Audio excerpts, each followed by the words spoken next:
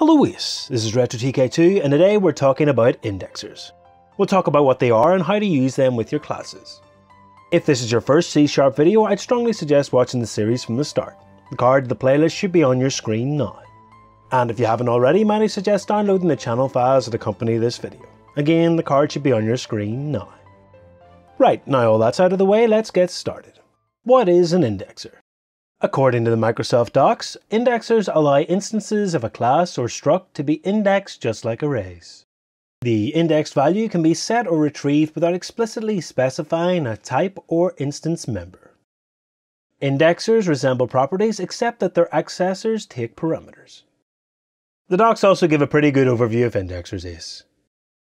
Indexers enable objects to be indexed in a similar manner to arrays.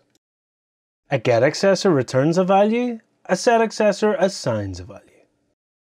The this keyword is used to define the indexer.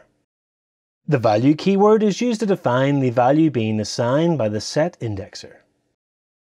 Indexers do not have to be indexed by an integer value. It is up to you how to define the specific lookup mechanism. Indexers can be overloaded. Indexers can have more than one formal parameter, for example when accessing a two-dimensional array. Okay, a ton of very good information there is, so let's see these in action. Open up Unity and create a basic C-sharp script. As always, make sure you give your script a different name than any other class in your project. I'll also be using Unity Spice for all my logouts here is, just to make the code a bit neater. If you would like to get it for free, click the link in the description down below. And if you'd like to see it in action, click the card on your screen now. Right, so we've seen indexers before when we looked at arrays earlier in the series. Now we're going to use them with one of our classes. Declare a basic class is.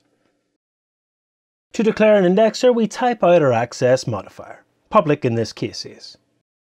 Then we declare the type we want to return from the indexer's getAccessor. After that we type out the this keyword. What is the this keyword? Well, according to the Microsoft Docs, the this keyword refers to the current instance of the class and is used as a modifier of the first parameter of an extension method. Since we have to use the this keyword to declare our indexer, we cannot have indexers on static methods or static classes. But we'll discuss this in more detail when we get to the static keyword later on in the series. Yes. With our this keyword added, we open our square brackets and declare our lookup parameter. The indexer's lookup type doesn't have to be an int is, but since the only collection type we've seen so far has been basic arrays, we'll keep it as an int for now. Later in the series, we'll get on to dictionaries, which use different objects as the lookup key. Something to look forward to, yes, so be sure to subscribe for that. After all that fun, give your indexer's lookup parameter a name. Here I'm simply going to call it i. Okay, now we declare our get and set methods exactly like the properties we've seen earlier in the series. Here I'm just returning an empty string placeholder to get rid of the errors is. Okay, so here I'm going to add an array of strings as a field to our class with an array size of 100. It's important to keep this field private, yes, otherwise we could just access the array directly and completely avoid our indexer's logic.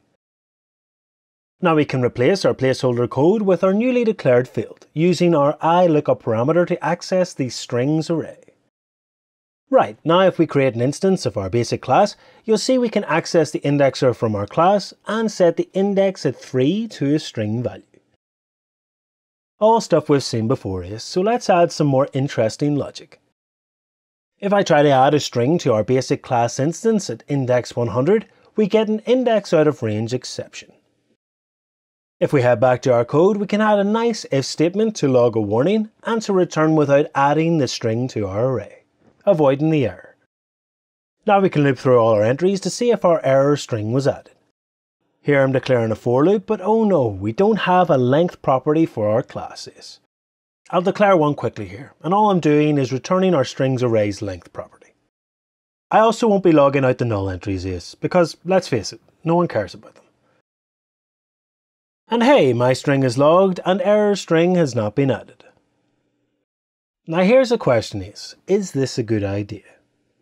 If another programmer was to come along and use our basic class, they would expect the index out of range exception to be thrown. Since our code fails somewhat silently, bar of course the warning log, we don't really tell the coder that the value hasn't been added. Though they would more than likely assume it hadn't been. In my opinion, a much nicer way to do this would be to create a method called attempt add and to let this method be the main way we add strings to our array. It makes the indexer obsolete, but definitely makes our class behave in a way most coders would expect. Just something to think about, is when you're designing your classes. Much like methods, our indexers can be overloaded. So if I declare another indexer but change its lookup parameter to a string type, you'll see we don't get any errors. Marvelous. The last thing to talk about is multi-dimensional indexers. Just like the multi-dimensional array, our indexer can take multiple lookup parameters. Simply add a comma, declare another lookup parameter, and you're good to go, Ace. Access it just like you would any other multi-dimensional array. This has been a good look at indexers in C Sharp. And that's it. Rate, comment, subscribe, Ace. I'm sorry it's been so long since I've made one of these tutorials. You can email me at retrotk2 at gmail.com with any of your questions about indexers. Thank you for watching this, and I'll see you in the next video.